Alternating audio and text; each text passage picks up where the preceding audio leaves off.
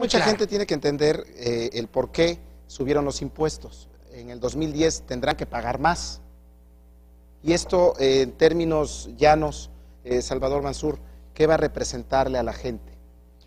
Bueno, el gobierno federal, Omar, abrió sus libros ante todos los diputados del país y demostró que el hueco económico que estaban manejando de 300 mil millones de pesos en los medios de comunicación no es tal, es aún peor. O sea, estamos... Estamos hablando de una diferencia de las finanzas públicas entre 500 y 550 mil millones de pesos. Por lo tanto, es un momento de gravedad terrible en las finanzas nacionales derivado de una ineficiencia en el uso de los recursos. Quiero decirte que durante el sexenio del presidente Vicente Fox tuvimos la cantidad de excedentes petroleros más grande de toda la historia. Ni en la época de José López Portillo, Pemex fue tan abundante en su capacidad de generar riqueza. Y desgraciadamente, esa riqueza se destinó a la contratación de más burócratas y de un incremento en el gasto de viáticos y de servicios personales, lo cual orilló a que México no creciera en infraestructura. Hoy ese no dinero podríamos, del petróleo nos fue como se fue a, aumentar las filas del burocratismo en los gobiernos anteriores. Hoy no deberíamos de estar discutiendo en dónde va a destinarse la refinería, si en Hidalgo, en Tuxpan o en México. No, deberíamos de estar hablando de tres o cuatro refinerías que pudieran haberse construido viendo hacia el futuro con los recursos que nos correspondían a los mexicanos. Eso es trabajar con seriedad, que desafortunadamente bueno, pero no es que se, decía que eran precisamente los diputados los que no aprobaban las iniciativas y las, y, las propuestas para, en este caso, eh, impulsar, sobre todo en el sector de energía, eh, la industria petrolera. Bueno, en ese momento fue decisión absoluta del gobierno federal, es facultad exclusiva tomar la determinación para dónde van encausados los recursos de excedentes petroleros.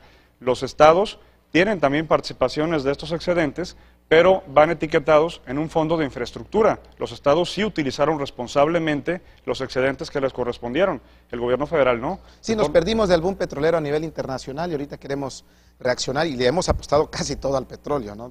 la mayoría de los ingresos, si no es que el 80%, 90%, son... Y en ese sentido, bueno, pues eh, la gente sí quiere ver eh, ya más beneficios, quiere entender lo que es en este caso el, el que pues, sus vialidades, sus escuelas, sus hospitales estén mejores. ¿A dónde va a ir la mayor parte de esta cifra histórica que va a tener Veracruz en el 2010 de presupuesto? En su mayoría por sectores. Carolina. Bueno, van a diversas obras que se van a realizar de infraestructura, carretera, lo que es también el tema de salud, que es importantísimo. Ya mencionaba el diputado Javier Duarte, y es un tema que yo quiero resaltar muchísimo más porque se encuentra precisamente aquí en el puerto de Veracruz, que es el hospital infantil, la torre pediátrica en el Ahí hospital se regional. Va a construir. Ahí se van a destinar 198 está Jalapa, millones de está pesos. Córdoba, está Coatzacoalcos. Bueno, aquí se procuró que en cada una de las regiones se pudiera llevar ya sea un apoyo en materia de salud, materia de educación. Bueno, fue tu distrito y tú la lo defendiste. Cada diputado fue a defender lo que es para su distrito, ¿no? Y en este caso nos parece que todo en general, porque ese fue además el trabajo colectivo de toda la fracción priista veracruzana, defender todo lo que es para Veracruz. Veracruz aporta muchísimo, Mar. Tenemos petróleo, tenemos además una de las zonas más importantes turísticas a nivel nacional, tenemos, bueno, infraestructura, tenemos tres de los principales puertos del país, uno de ellos aquí en el puerto de Veracruz. Desafortunadamente, de cada peso que aporta Veracruz a la federación, a la hora de que lo devuelven, nos regresan menos de 30 centavos. Veracruz ha tenido un presupuesto muy, importante en este momento, pero debería tener mucho más para Veracruz. O sea que apenas nos está haciendo justicia a la revolución. Así es. Ahora que viene el bicentenario. Parte de ese trabajo de los diputados, y yo sí quiero resaltar mucho la labor del diputado Javier Duarte, como integrante de la Comisión de Presupuesto.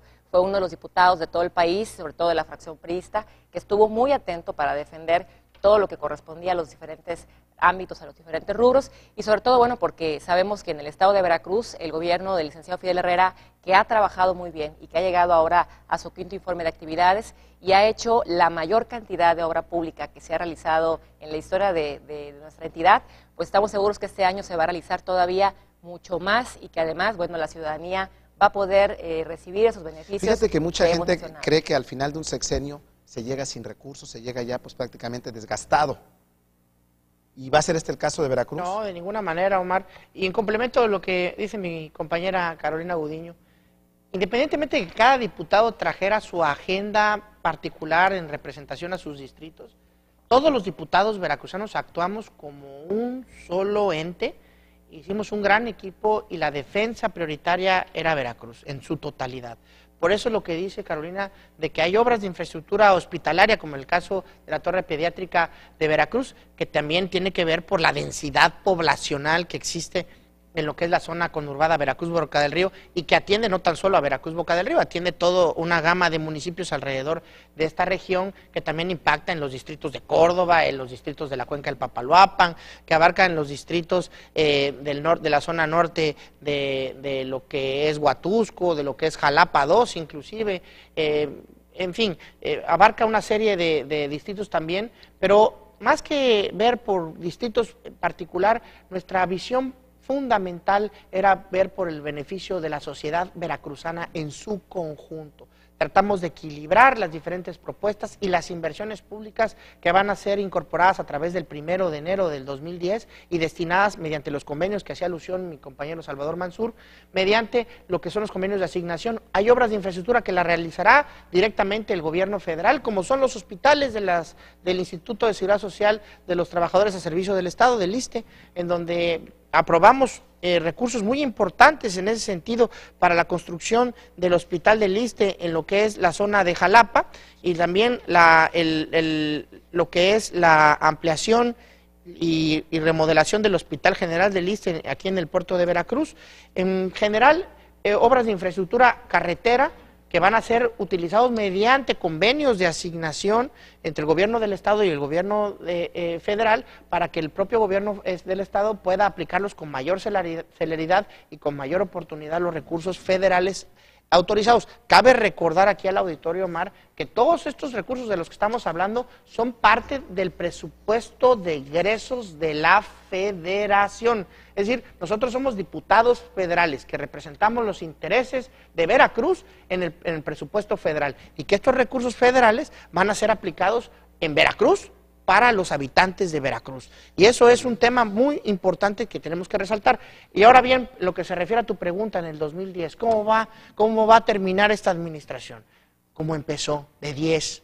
El gobernador Fidel Herrera ha sido un extraordinario gobernador en todos los sentidos, un hombre con una visión, con una capacidad, con una sensibilidad, con una visión de futuro que lo ha caracterizado como el mejor gobernador que hemos tenido en nuestra y ahora Tendrá un y ahora, con estos recursos que le estamos eh, consiguiendo a nuestro gobernador, al estado de Veracruz, estamos seguros de que va a cerrar con broche de oro lo que inició con gran oportunidad y con un gran profesionalismo y sensibilidad.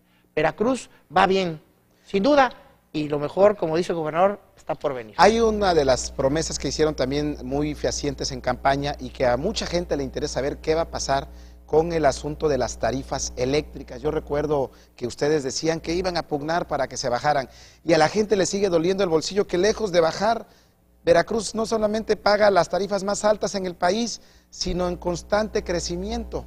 Claro, a ver, Una de las luchas históricas de los veracruzanos y de muchas entidades del país es que la Comisión Federal de Electricidad ha estado cobrando tarifas injustas a los ciudadanos y con toda razón.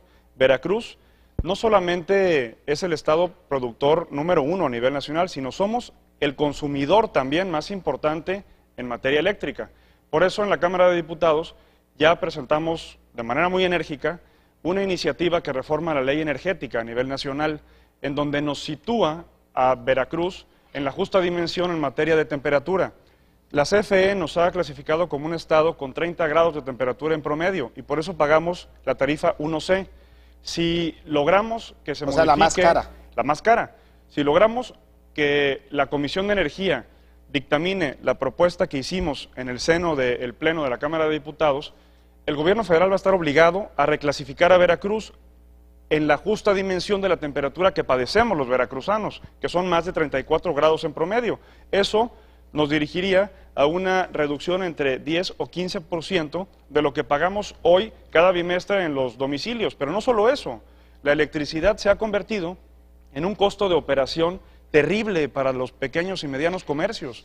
Muchas veces la electricidad es la utilidad de los negocios y por lo tanto ha tenido que haber despidos o cierres de negocios. Y por lo tanto es que hoy le exigimos al gobierno federal que de una vez por todas tome una decisión sensible en base a generar qué? Productividad, competitividad en el país, en donde los grandes inversionistas nacionales y extranjeros, tú lo sabes. No, el día que llegue el recibo de energía eléctrica a las casas, ese día la furia explota. Claro, toman decisiones en base a los costos de operación y grandes capitales se han ido de nuestro país porque les cuesta más caro producir en México. Y uno de esos rubros es precisamente la electricidad. El gobernador desde hace muchos años ha encabezado esta lucha, ha logrado ya avances en materia de tarifas industriales, pero ahora vamos hacia el más grande de los rubros, que es la tarifa doméstica y comercial. La doméstica. Bueno, tenemos que ir a un corte, pero regresamos. Hay muchos temas más que estamos abordando con los diputados federales que protagonizaron sobre todo la cifra histórica de presupuesto para Veracruz 2010.